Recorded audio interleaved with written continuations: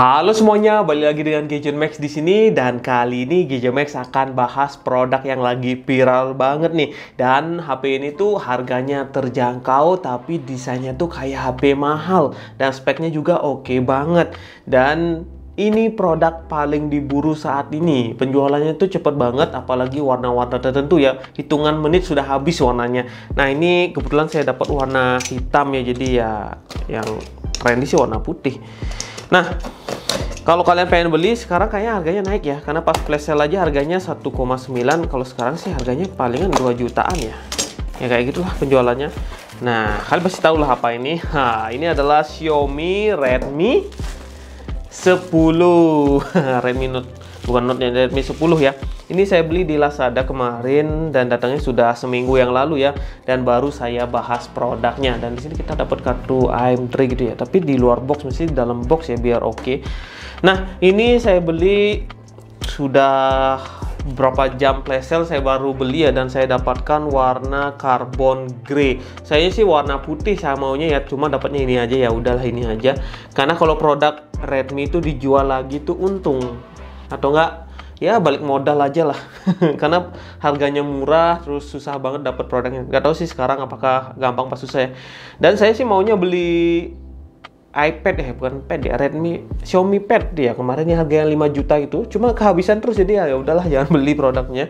Nah ini adalah Redmi 10 dan di sini saya dapatkan storenya adalah 4 GB internalnya 64 GB dan ini tuh keren banget loh dengan harga segini dengan brand-brand lain yang pernah saya bahas sebelumnya. Ini bisa ngasih kamera 50 megapiksel.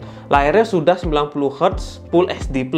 Kalau kemarin saya bahas masih SD+ layarnya. Terus sebelum-sebelumnya juga masih segitulah. Dan kalau untuk 90 Hz itu harganya 2 jutaan. Kebayangkan Infinix pun ketar-ketir sama brand ini. Nah, di sini menggunakan high performance MediaTek Helio G88. Kalau kemarin saya bahas Tecno Spark yang mana ya? 7 ya? Yang eh, Fufa Tekno Fufa itu saya beli dengan harga 2,2 ini 1,9 bisa segini gila sih ini. Dan di sini baterainya 5000 mAh ya emang standar sih. Apalagi kalau bisa ngasih baterai 7000 mAh kalah pupa kemarin itu.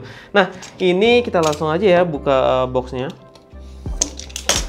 Pokoknya kalau brand ini ngeluarin smartphone smartphone lain tuh terlihat mahal walaupun murah jadi mahal ya. Kayak Tekno kayak Infinix itu terlihat mahal kalau ini sudah bertindak.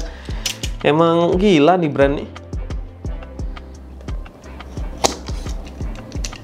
nggak perlu nyewa reviewer untuk bahas produknya pun laku banget. Nih dalamnya nih ya dari country director Xiaomi Indonesia emang telat banget sih saya bahasnya ini udah berapa minggu yang lalu ya. Lagi hype sekarang sih udah turun hype-nya. Nah di dalamnya kita lihat lagi lah. Ada SIM ejector terus dapat buku petunjuk dapat jili case ya seperti itulah dalamnya. Terus di dalamnya lagi dapat HP-nya di sini selling point-nya ini ya, yang tadi saya bilang 50 megapiksel AI quad kamera. Yang lain bisanya triple kamera, ini sudah quad kamera. Gimana nggak gila namanya ini. ini aduh, udah deh. Kalau saya jualan smartphone udah saya tutup gerai aja lah kalau Redmi ini emang udah ini layarnya 6,5 90 Hz dan sini high performance MediaTek Helio G88 dengan octa-core prosesor up to 2,0 GHz baterainya 5000 mAh sudah support fast charging 18 watts ya udah. Ampun ampun. Oke dapat chargernya. Chargernya bentuk seperti ini ya. Terus dapat kabel data yang tentunya sudah USB Type C itu wajib banget ya dan oke juga sih jadi kalian bisa milih smartphone apa maunya Infinix. Ini kan HP murah tuh Infinix ya. Tapi ini emang Redmi biasanya jual 2 juta nih. Jualnya sejutaan.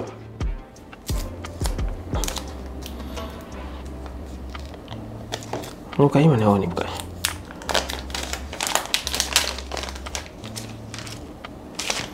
ini lepasin aja lah biar kelihatan mewah. Oke. okay ini tampilannya ya udahlah cakep banget kayak smartphone 3 jutaan 4 jutaan ya padahal 1,9 juta apalagi kalau kalian punya cashback punya voucher bisa dapat satu setengah juta ini Oke, ini ada tampilan belakangnya ya. Dan di sini tidak meninggalkan sidik jari ya. Smartphone sekarang tuh wajib ya tidak meninggalkan sidik jari, tapi desainnya itu mewah. Nah, di sini kita langsung aja lihat di bagian belakang ya. Ini sudah quad kamera dengan ini kamera utamanya 50 megapiksel. Ntar kita tes hasilnya. Udah quad, quad kamera, ada LED plus, di sini ada AI cam photography system. Nih, pakai membel fotografi system. Tapi kameranya sih bagus ya. Kalau Xiaomi ngeluarin produk sih nggak ada yang mengecewakan. Dan di sini ada tombol power sama fingerprint, volume up, volume down, dan di bagian atas ada ada infrared blaster ya. Ya, ada infrared blaster nih speaker ya. Dan di sini ada lubang mikrofon, ada lubang jack audio, dan di sini untuk SIM trimnya. Mana SIM trimnya ya? Di sini sih ada SIM trim kemarin. Oh ini ya, ini aja pakai.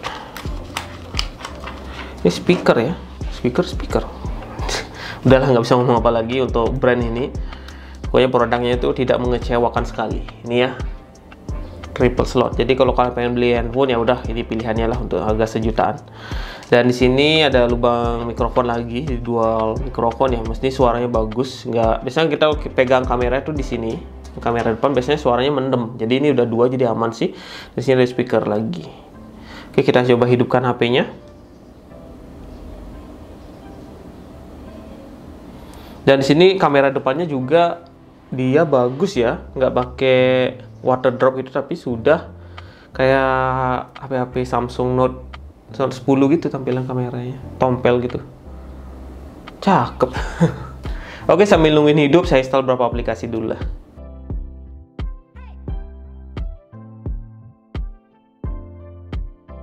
Yo, balik lagi dengan Gadget Max di sini dan ini adalah tampilan dari Redmi 10.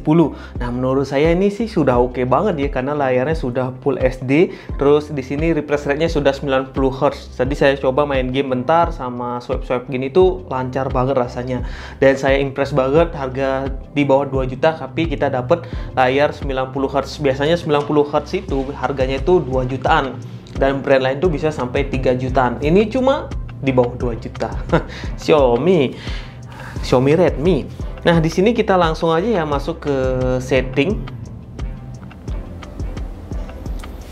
Dan di sini kita cek untuk MIUI-nya. Di sini masih menggunakan MIUI 12.5.2 dan ini menggunakan base Android-nya adalah Android 11 ya. Jadi ya sudah kekinian banget dan tinggal pakai aja. Cuma kalau kalian beli smartphone ini tuh harus rebutan. warna putih itu paling favorit ya. Dan ini sih warna yang nggak nggak begitu orang suka mungkin ya. Jadi stoknya paling banyak kemarin. Jadi saya beli yang ini aja. Nah, kita langsung aja ya menggunakan aplikasi AIDA untuk cek hardware dan softwarenya. Xiaomi RAM-nya 4GB, internalnya 64GB kelihatan nggak ya ini. Terus di sini menggunakan MediaTek Helio G88 ya. Saat ini di sini gedenya G85. Dengan arsitektur intinya adalah 6X ARM Cortex A55 dengan maksimal clock speed di 1,8 GHz sama 2X ARM Cortex A75 dengan maksimal clock speednya di 2,0 GHz. Pabrikasinya 12 nanometer, sudah octa core Terus di sini resolusi layarnya 1080 kali 2800 pixel dengan bentang layarnya 6,5 inch dengan kerapatan layar di 405 ppi. Jadi ini sudah cukup banget dipakai harian dan kalau kalian pakai nonton film sih enak banget karena pixelnya itu gede ya. Jadi sampai 405 ppi Full SD plus. Dengan GPU Mali G52 MC2 baterainya 5000 mAh Androidnya 11 kan tadi saya, saya bilang. Di sini nggak gede ya 50 megapiksel. Tapi kalau saya menggunakan depth check ya. Kalau depth check sih hampir sama ya hardware Helio G85 kalau di box kan G88 ya. Kalau di sini kita cek lagi kameranya tuh 50 megapiksel ini ya kameranya. Nih cakep kan? Ntar kita tes untuk hasil kameranya nah Selanjutnya kita cek coba sensornya di sini, apakah ada giroskop apa tidak. Kita cek giroskop. Di sini masih menggunakan virtual, belum menggunakan hardware. Jadi kalau kalian main game PUBG di smartphone ini ya harap terima aja untuk giroskopnya. Tapi kalau main game FF, apalagi MFF Max itu sudah cukup banget dengan smartphone ini. Ini yang sensor-sensornya cuma sensor tekanan dan sensor suhu aja yang nggak ada di sini. Kita lanjut. Di sini kita cek apa nih Antutu benchmark dong. Di sini saya menggunakan Antutu benchmark versi 8 dan di sini dapat skornya di 7 178 ribuan. Ya hampir ya belum mendekati 200 ribuan tapi sudah cukup sih. Dengan skor CPU-nya adalah 61.000 GPU-nya adalah 37.000 memorinya adalah 39.000 dan UX-nya adalah 39.000 hampir 40.000 ya.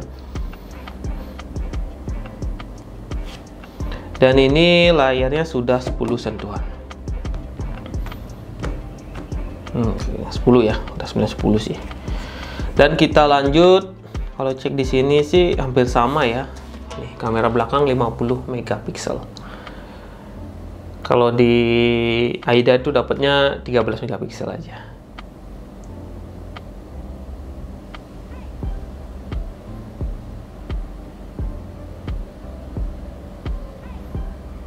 Nih, kamera depannya cuma 8 megapiksel ya. Di 11 NFC nggak ada ya itu adalah untuk spesifikasi dari smartphone Redmi 10 ini yang produknya laris banget sumpah. Selanjutnya kita cek buat GPU max benchmarknya berapa ya dapat skornya? Untuk skornya kita dapat di 400 ribuan ya ya lumayan sih ya nih kita coba start.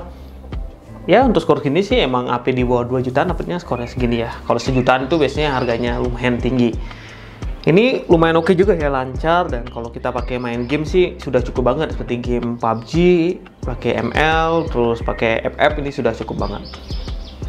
Main game Genshin Impact pun masih bisa. Cuma ya jangan dipaksa ya. Mending di PUBG aja lah. Genshin Impact kan emang grafisnya itu tinggi banget. Nah kita lanjut aja ya. Nih sebelum saya closing saya bisa lihat DPS nya berapa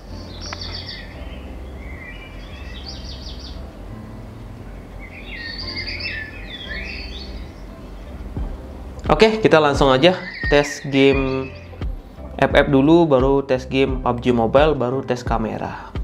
Ini sudah masuk ke game FF ya, dan di sini sudah menggunakan dual speaker, jadi kalau kita pasti suaranya menggelegar banget.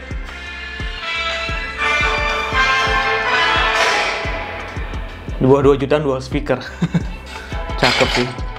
Waduh, Ntar kita setting grafisnya dulu.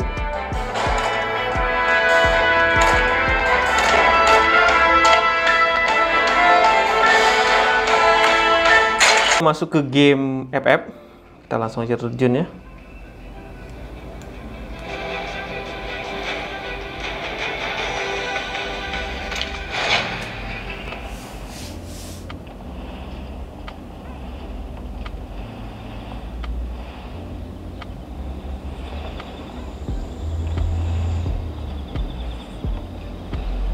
Oke, sudah terjun.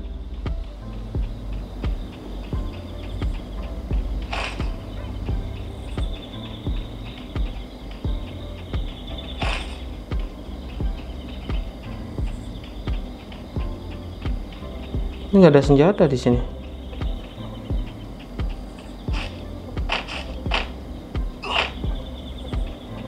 Itu tampilan grafisnya lumayan oke juga ya nih. Shadow-nya terus gedungnya itu cakep.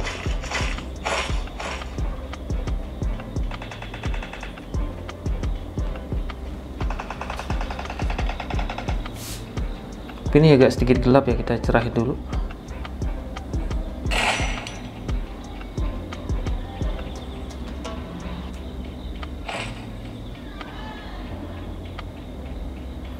Coba naik mobil. Oh udah ada musuh satu. Kasian dia gak bawa senjata sih.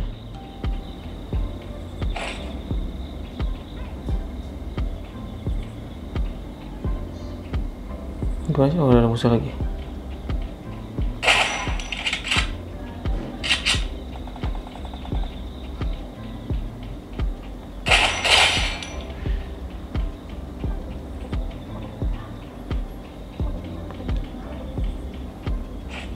pintunya mana nih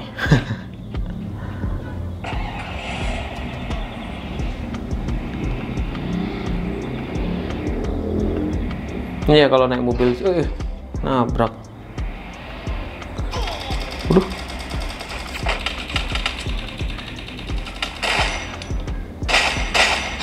Hmm.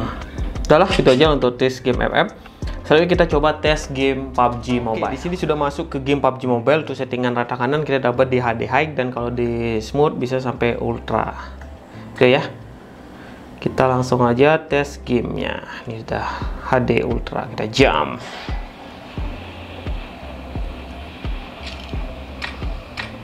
Giroskopnya kita coba hidupkan ya walaupun software. Walaupun virtual.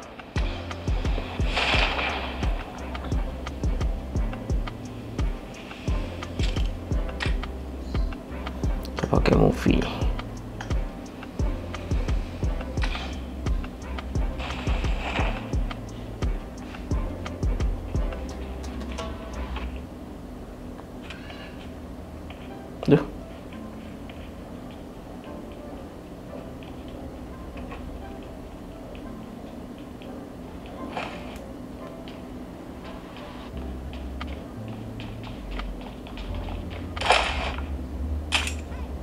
Ini tas aja nih.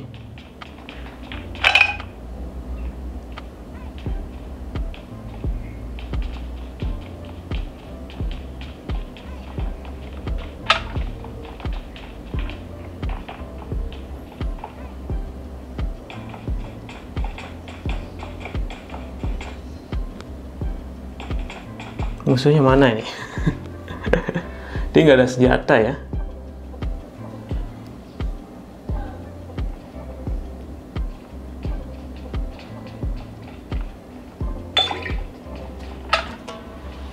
Nggak ada senjata sama sekali nih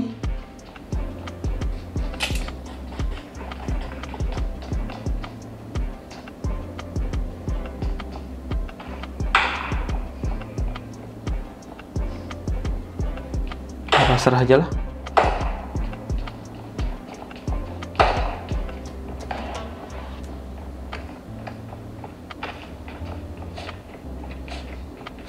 Aduh, ngapain sih?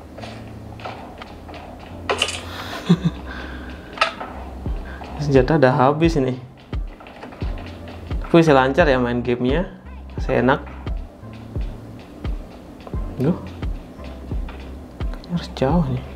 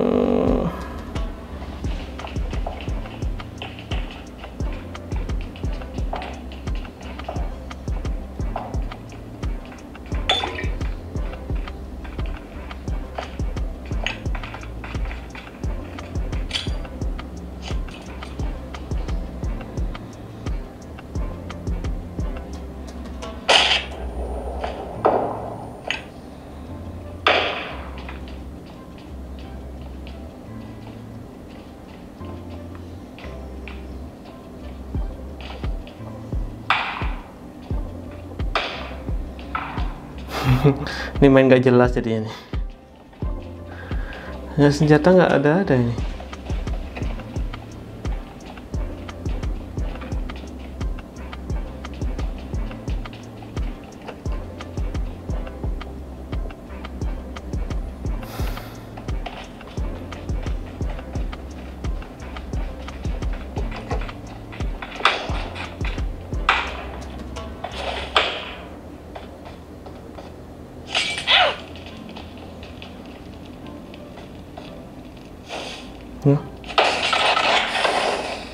Waduh, waduh. Goblok. Ketekan cuy.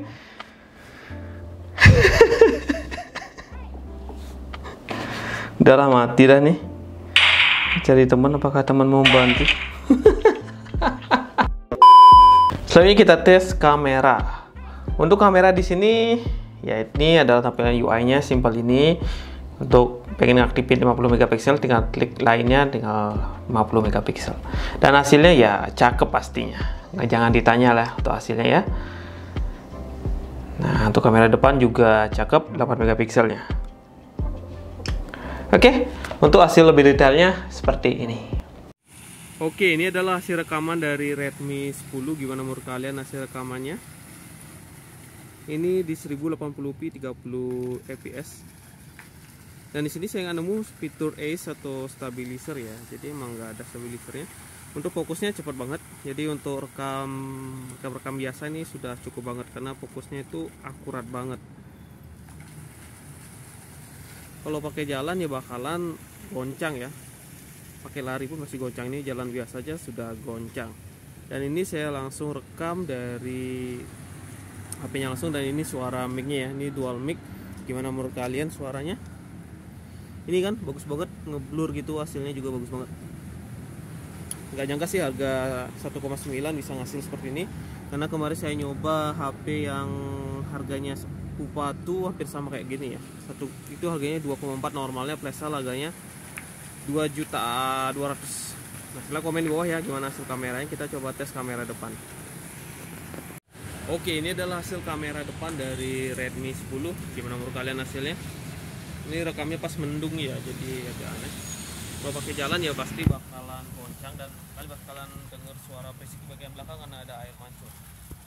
Oke itu dulu untuk testing kamera dan menurut saya sih hasil kamera ini udah cukup banget.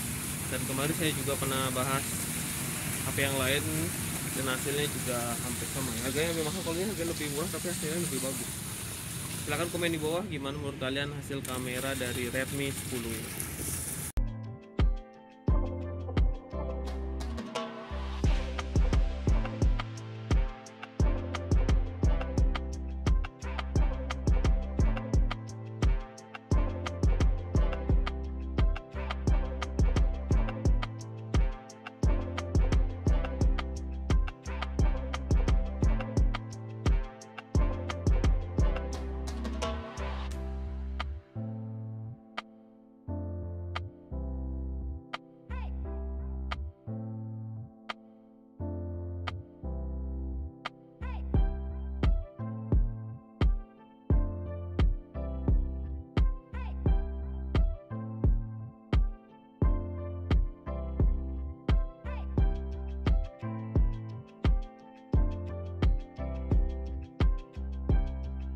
Oke, mungkin segitu dulu video Gadget kali ini tentang smartphone Redmi 10 ini. Mungkin videonya membosankan karena produknya sudah banyak yang bahas ya, jadi ini saya juga telat bahasnya.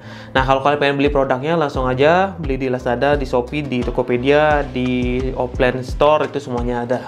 Oke, mungkin segitu dulu video Gadget kali ini. Terima kasih sudah menonton sampai akhir video. Sampai jumpa di video yang lainnya.